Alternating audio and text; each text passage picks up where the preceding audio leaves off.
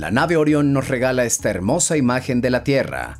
Además, la NASA sigue celebrando el exitoso lanzamiento de Artemis 1 y también una inquietante imagen del Sol sonriendo. Da la vuelta al mundo. Soy Renevaldo.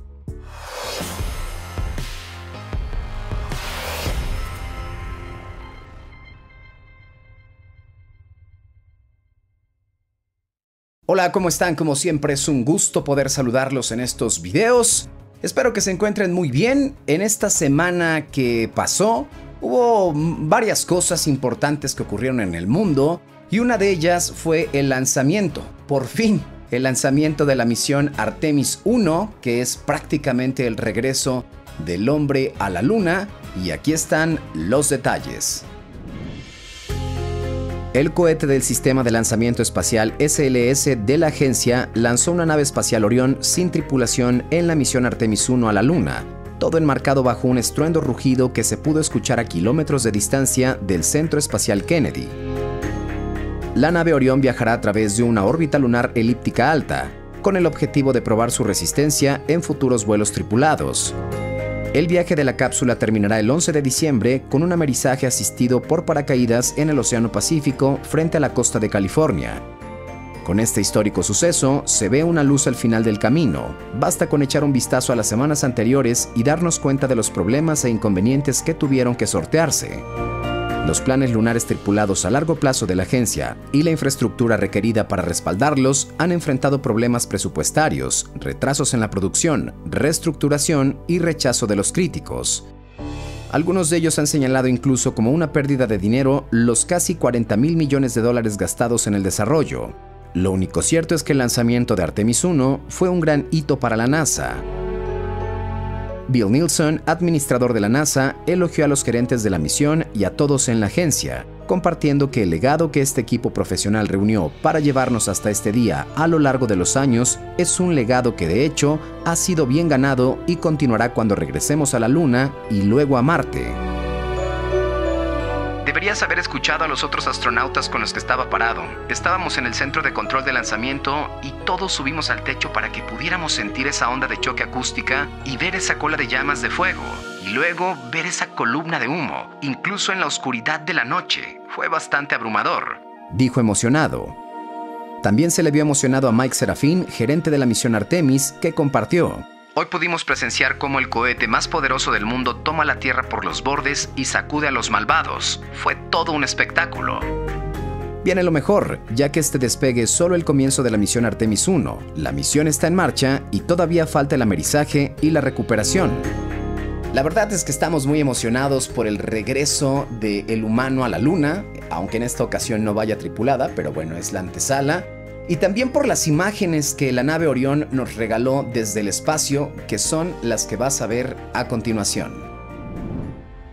La misión Artemis 1 de la NASA que impulsa una nave espacial Orión sin tripulación en una trayectoria hacia la Luna, por fin pudo dar un paso adelante.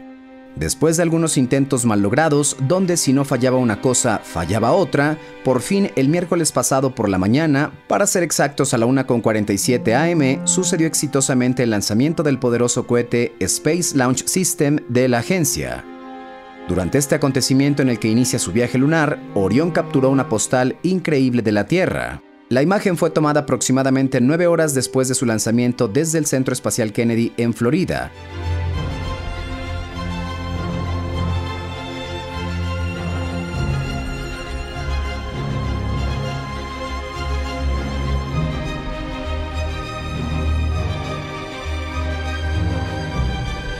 Como antecedente, la última vez que se capturó y compartió una fotografía así de la costa translunar de la Tierra desde una cápsula tripulada fue durante la misión Apolo 17 de la NASA en 1972, la última misión tripulada de la era Apolo a la Luna. Este primer vistazo histórico desde el interior de la nave espacial Orión, que se dirigía a la Luna, fue compartido por la NASA. Como describimos en un video anterior, en el interior de Orión viaja un maniquí vestido con el traje de Orion Crew Survival. Este traje es el mismo que usarán los astronautas en futuras misiones tripuladas por Artemis a la Luna. Esta hermosa postal de nuestro planeta fue capturada por una cámara montada en una de las alas de los paneles solares de Orión y ocurrió cuando la nave espacial estaba a más de 90.000 kilómetros de distancia de la Tierra. Y perdón si nos emocionamos de más, pero como te lo mencionamos hace unos momentos, es la primera imagen de vista de la Tierra de una nave espacial calificada para humanos que sale a la Luna desde la misión Apolo 17 en 1972. Sandra Jones, portavoz de la NASA, compartió emocionada. Las vistas de nuestro mármol azul en la negrura del espacio ahora capturan la imaginación de una nueva generación, la generación Artemisa. Por primera vez en 50 años, el lanzamiento de Artemis 1 enviará una cápsula vacía alrededor de la Luna. Se espera que este primer vuelo de prueba dure de 4 a 6 semanas y termine con un amerizaje en el Océano Pacífico. Si todo resulta según lo planeado, cuatro astronautas se sumarán a la próxima misión en 2024 con la esperanza de llevar a dos astronautas a la Luna, uno o dos años después. Bueno, y en otros temas, eh, recientemente se convirtió en viral una imagen del Sol que es ciertamente inquietante ya que parece que el Sol está sonriendo. ¿A qué se debe esto? Aquí están los detalles. Continuamos con más fotografías espaciales y ahora te compartimos esta de nuestro hermoso Sol. No sabemos si nos produce ternura o terror, pero la foto que estás viendo es una imagen satelital que nos muestra una pícara cara de felicidad sobre el Sol. El patrón se ha hecho con manchas oscuras llamadas agujeros coronales. La imagen fue tomada por un satélite de la NASA a principios de la semana pasada. Al momento de ser compartida, todo mundo señaló el patrón de cara feliz, la misma agencia espacial se animó a decir que era el Sol sonriendo. Al compartirla en Twitter, la NASA escribió, Hoy el Observatorio de Dinámica Solar de la NASA captó al Sol sonriendo, visto en luz ultravioleta. Estos parches oscuros en el Sol se conocen como agujeros coronales y son regiones donde el viento solar rápido brota hacia el espacio. Desde su publicación, las reacciones no se hicieron esperar y es que la foto de la NASA ha provocado una gran cantidad de comentarios. Algunos la comparan con una calabaza tallada de Halloween, otros con un león, con las galletas sonrientes de chocolate, con el hombre malvavisco de los cazafantasmas y otros con el tierno sol sonriente de los Teletubbies. ¿Recuerdas que te dijimos no saber si sentir ternura o terror? Bueno, a pesar de su apariencia amigable, los expertos advierten que los agujeros en la corona del Sol pueden significar que una tormenta solar golpeará la Tierra. Y es ahí cuando ya no parece tan agradable, ¿cierto? O tal vez por eso está sonriendo. Las tormentas solares son erupciones de masa y energía de la superficie solar que a su vez deforman el campo magnético terrestre. No todo es tan malo con ellas, ya que aumentan la visibilidad de las luces polares, también conocidas como auroras, en los hemisferios norte y sur. ¿Qué te parece esta imagen?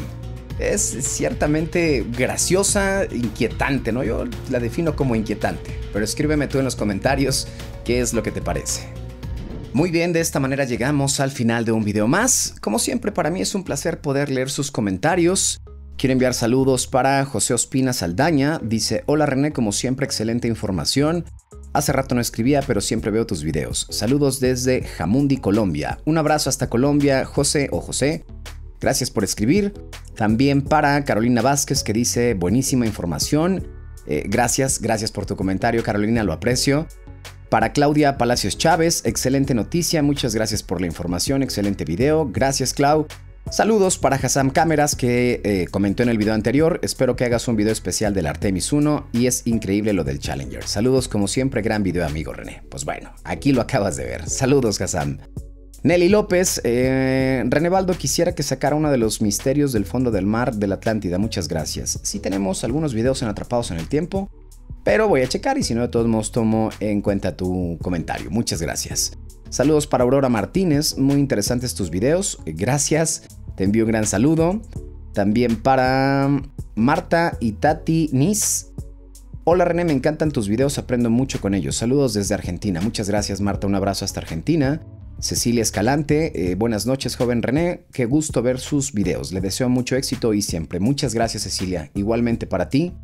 Y también para Jan Rivas Y para Faust Martínez que dice, saludos René, no me pierdo tus videos. Saluda a mi hija Karen que este 18 de noviembre cumple años. Salúdala por favor, gracias desde Mérida, Yucatán. Muchas gracias Faust y a ti Karen, felices primeros 18 años, te envío un gran abrazo, espero que la hayas pasado muy bien y que cumplas muchos años más. Por último, para Belém Alemán que dice me encanta tu contenido, saludos desde Chicago. Abrazo Belém hasta el frío Chicago, seguramente ya comenzaron las nevadas por allá.